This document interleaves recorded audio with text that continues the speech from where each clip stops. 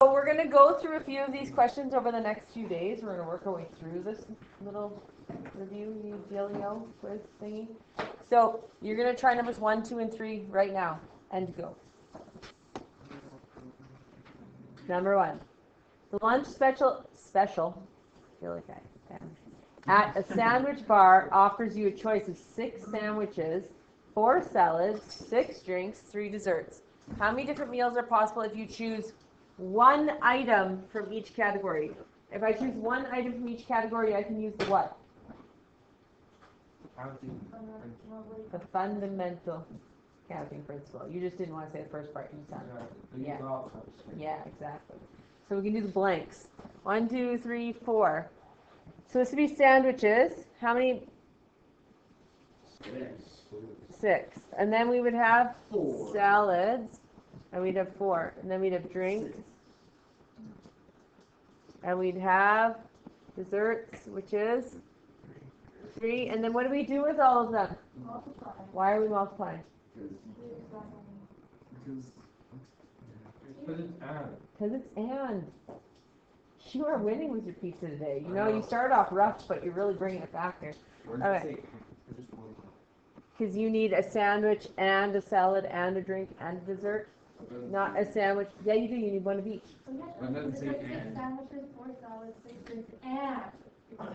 It doesn't have to say and. If it wants one of each category, that means you need a sandwich and a salad and a dessert and a drink. So we're welcome. Okay. If you said or, You add. You would add, but you don't want or. You don't want a sandwich or a salad. You want one of each. So it's and. Which is how much? How Um, you four hundred and thirty-two. Four, three, two. Okay, let's look at B. Suppose a word is a string, any string of letters. Are words permutations or combinations? Thank you. The permutation, because order matters. When order matters, it's permutation. Words are permutations because order matters. If not, Cody, you could be Dokoi, and we'd be the same name, which is not. Okay. So, it's a permutation. permutation. How many three-letter words? This is the key thing here, because sometimes we do the whole word, sometimes we don't. How many three-letter words from Regina? If you do not repeat any letters, Regina doesn't have any doubling or tripling letters. So we can either go three blanks, because it's not repeating, and it's permutation, right? So how many options do I have for the first blank? Six, ten, then, how else could I represent it? Can't really six? So you go six P, Oh, three, because of the three blanks, yeah? You got it. And what is that? One hundred and twenty. 120. How many different arrangements can be used in Nunavut? So this way it's the whole word, right? N U N A V U T. One, two, three, four, five, six, seven. So I go one, two, three, four, five, six, seven, and go seven times six times five times four times three times two times one. And then divided by two factorial is twice. Right. Now, what did I tell you you should probably do first? Write down the divided. Write down the 2 divided by 2 factorials, right? Because if we do those first, then we won't forget them. We agree? So what's the answer? Yeah. Now, I want you to do number 3, but I want you to have the vowels together. Go. Number 3 with the vowels together. So, we have seven letters. First thing I'm going to do is 2 factorial, 2 factorial. This doesn't fit this one, right? This question's done. I just gave you a separate question with this question, right? So, keeping Nunavut vowels together. One, two, three, four, five, six, seven. So totally, this has nothing to do with this question other than I'm using the word Nunavut, right? So Cody, what do we do? You box out the two vowels. Which is how many of them though? Three. Okay. And then we have Three, two. Yeah. And then? How many are left? I'm helping you out here. Good thing your voice is muffled. Four, three, two, one. Four, three, two, one. Yep. five, Times by five, why? because that's just sixty-two numbers slower. Nope, it's not, why, because you just do these. Why? Because they, Yeah. oh, 'cause they go over. the Ah. Hunter's answering. Sorry? Biggest numbers for. Yes, the biggest number is four, so we always do one more, and we can move this, that three, two, one, five spots, right? Yeah. We dropped the heat. No, It's so cold. work on number four, and then we're gonna go to combinations. How many different arrangements of the word Calgary must begin with the G?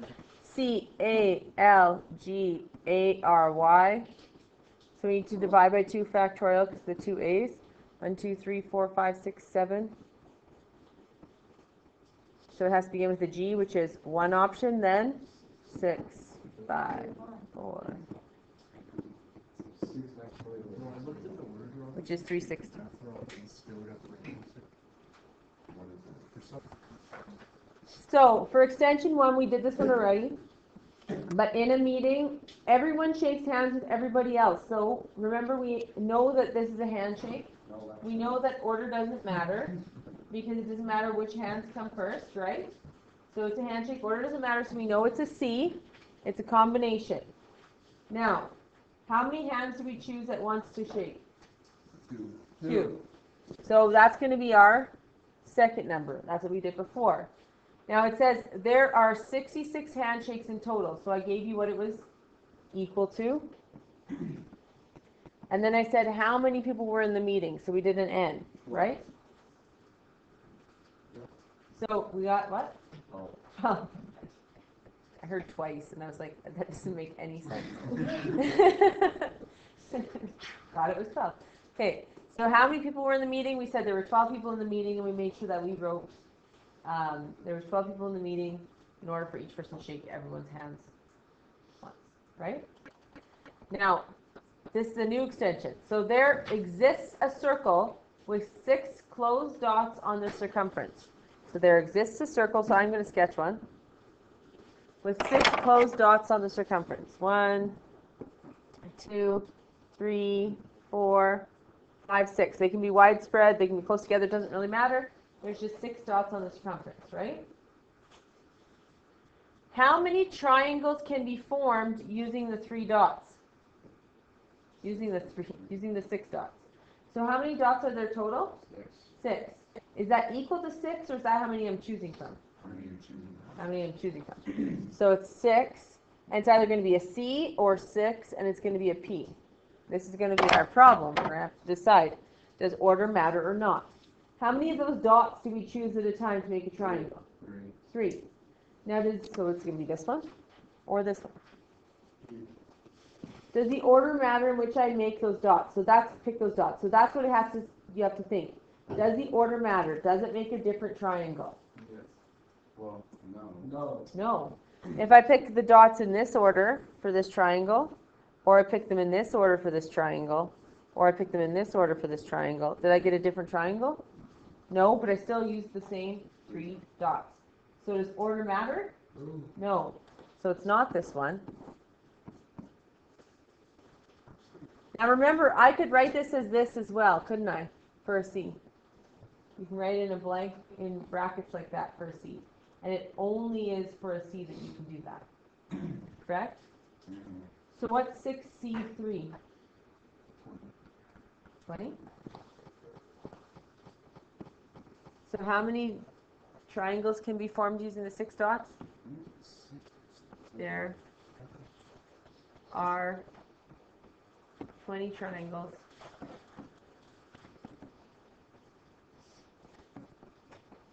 That can be formed.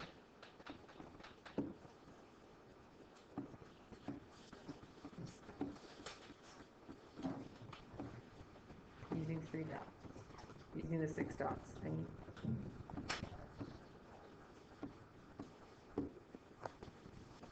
Can't short form our sentences, especially on the diploma. We need to write them fully so that we get all of our marks. Okay? What is it? January eighth. How many questions is fifteenth, I thought. So what happens? No, it's gonna be that twenty-second, twenty-third, it's the Wednesday after the last day of class. What happens if it's Okay. You're just not right there, so. So we have, every team in a league plays every other team three times. Every team in a league plays every other team three times. Now, that doesn't mean every other team, like they do, play this one, don't play this one, they mean every other team. So like, just not themselves, they play every other team three times. How many teams are in the league if they play a total of hundred and ninety-eight games?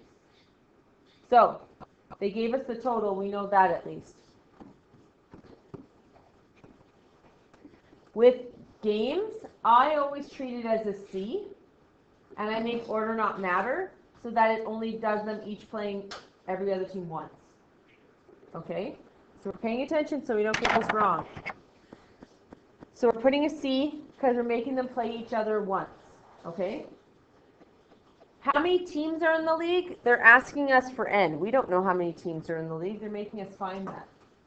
We need to figure out how many they want us to choose at a time. So, this is the key thing. This is a sport. Let's pretend this is hockey. How many teams play each other at once? Two. So, we have X number of teams, and we're choosing two to play each other, right? The only time that's not a two is if, and there are some sports, and you have to, you have to understand this, because sometimes it's not a two. So with the triangle one, it was a three, right? Sometimes there's sports that play three teams at once, and we've Googled it. I think there's a soccer team that plays like, it's three teams against each other in a triangle. So in that case, this wouldn't be a two, this would be a three. Doesn't even work out. NC2, I told you, represents everyone playing each other, how many times? Once, right? So NC2 represents everyone playing each other's, every other team, once. This particular question says, every team in the league plays every other team, how many times? Three. Three. So what am I gonna have to do with this? Multiply this by three. So then, I'm still not gonna do NC two over and over and over. What do I have to do first? To solve this? Oh, divide the answer by three. Yes. Divide over the three.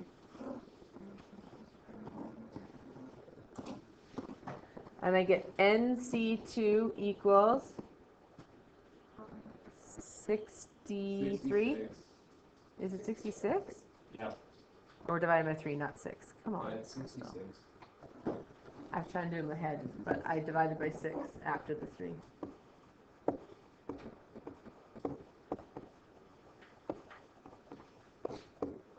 Oh my god, it's so short. Okay, so now we have to figure out NC two equals sixty-six. Well, Is it twelve? Yeah. So how many teams are in the league? There are twelve teams in the league.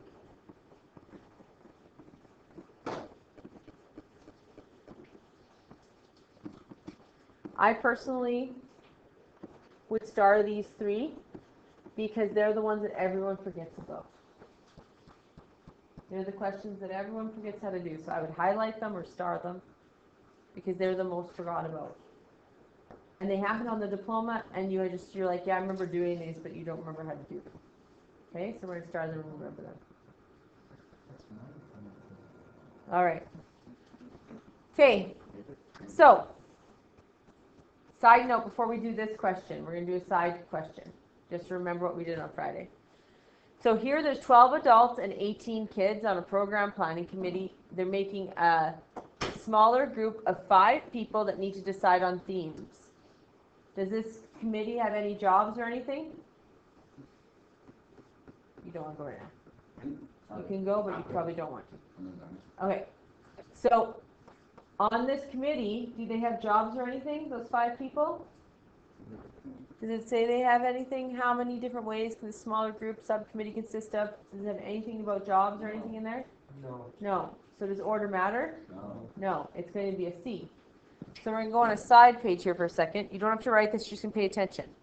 So I have 12 adults and 18 kids, and I need a five-person subcommittee. We agree? Yes. No jobs here. So if that's all I asked, if that's what I gave you, and I said I need a five-person subcommittee, how could we do this question? Thirty C five. Exactly, 30C5. Because I don't care if they're kids or adults, I just want a five-person subcommittee, right? So if I don't say with exactly two kids or three adults, I go 30C5. Total C5, right? Now, what happens though, if it's the exact same thing, 12 adults, 18 18 kids, and I say I need two adults and three kids?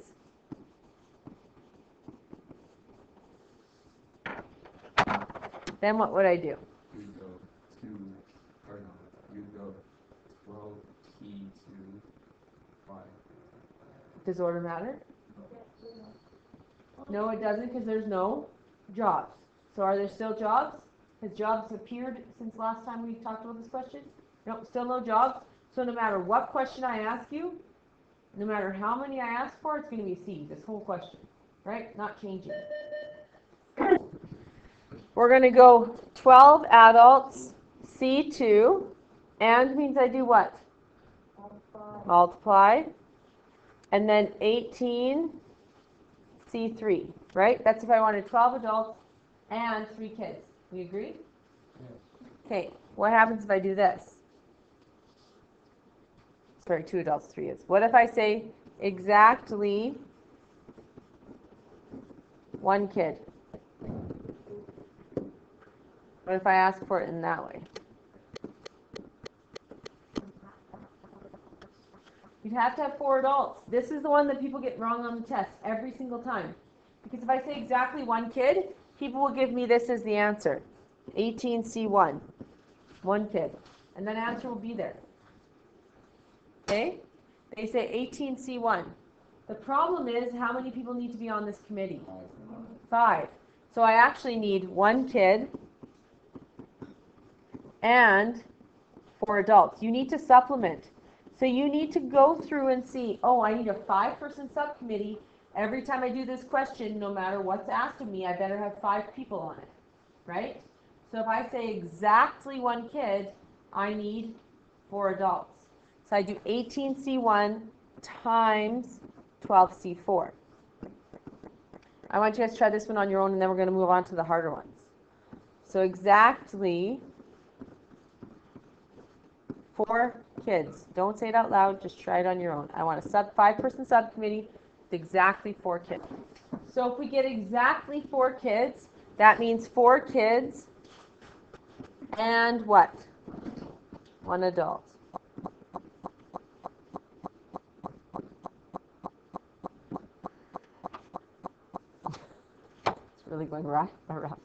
Adult. okay. So we have 12C4 and is multiply. And nope, kids are 18. Yep. 18C4 times 12C1. What do we get for an answer? Thirty-six, seven, twenty, 36,720. Okay, 36,720 different cases, okay? So that's if it's exactly this many kids, exactly this many teachers or adults or whatever we're talking about, I don't know. Um, it could be teachers and principals, right? And we ask for teachers, X number of teachers and X number of principals, then it's a C. So if it's teachers from teachers, principals from principals, students from students, um, kids from kids, adults from adults, forwards from forwards, defense from defense, anything like that, it's a C. Because the order doesn't matter. They, the job they have is to be defense, and you're picking defense. So you're not giving them specific jobs, they already have. Okay? So this is where it goes differently. This is where we get standard of excellence questions. So it's the same question, But now I'm saying at least four adults. At least. So we're gonna think of this like money. We walk into um, a store and I say to buy anything in here, you need at least four dollars. What do you need? What does that mean though? A minimum of four dollars. So four dollars or more, right? That's what at least four means. You guys can do it with money, but then when I give it like this, you do it the opposite way every single time. So always when you're using the word at least or at most, think of it as money.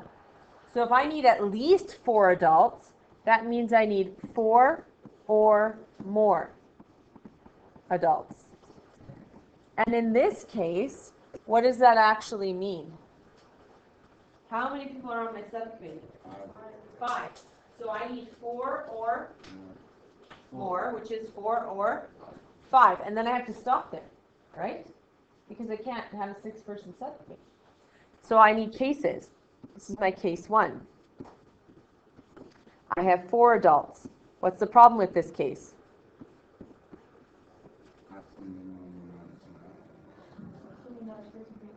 I need another person because I need to have a how much person subcommittee? Five. So every case I make with at least or at most better have five people on it because I need to have a five-person subcommittee. Okay, so I need four adults and one kid. Or, bless you, between cases I always have or because I'm either going to have this case or I'm going to have another case, which means in between I'm going to do what to them? Add. Add them. So I have case one and then I have case two, which is five adults. Do I need to say and zero kids? No. Is that going to change it? No. And now we just do it like we did before. It doesn't change it or anything. Okay? We're going to go bracket. Eight. Nope, there's 12 adults. 12, choose four. Didn't change to a P because we still don't have jobs for these things, right? We still don't have jobs for the kids or the adults. It's just a five person subcommittee, so it's a C. So we have 12C4 and is multiply 18C1. Or means I add, and then I start a new case, and I start with all my adults again. How many adults are there? In total to choose from. 12. And I choose 5. Everyone practice typing this in, please. Okay, did anyone get the answer so everyone could see if they got it? Seven zero two. 9702. Is that it? So there's 9,702 different cases where we can make a five-person subcommittee with at least four adults, right? Which meant four or more. Does that make sense? Then we're going to flip over to the next one.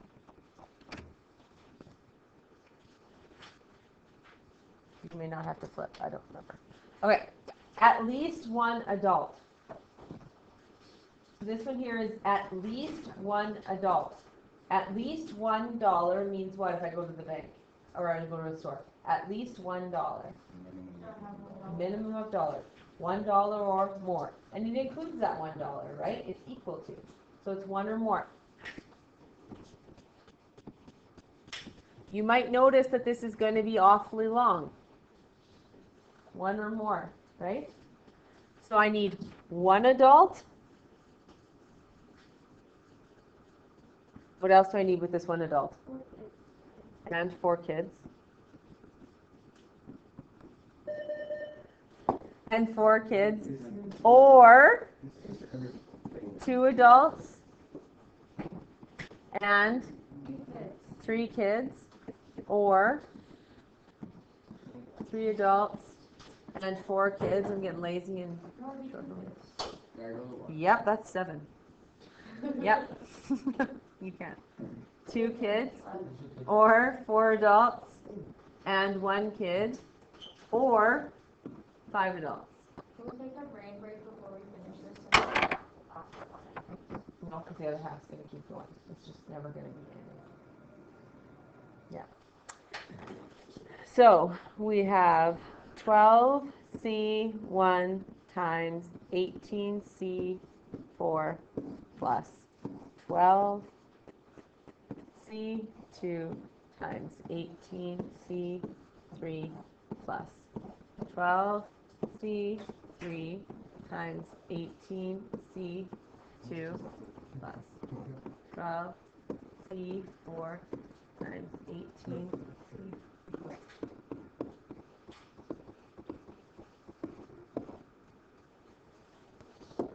One, three, three, nine, three. Nine three eight, Yeah, one hundred and thirty-three thousand nine hundred and thirty-eight. that look right? I think so. The kind of question you get the first try of this. Okay. C says at most two adults. So if I needed at most two dollars when I went to a store, I would need two or one or zero. It'd be two or less, right? You can't forget the zero case. So the at most cases, people forget the zero. So I need two adults or one adult or no adults. Try that one out oh, just so it's done. So this is gonna be two adults and three kids, or one adult and five kids. Nope, four kids. Or zero adults and five kids. So it's twelve C two times eighteen C three plus twelve C one times eighteen C four. Plus, do I have to put the zero? No, If I put it, would I be wrong? yes. No, I No. could go twelve C zero and that's just one. Eighteen C five. What's the answer? I got nine nine one four four. That is it. I have a question.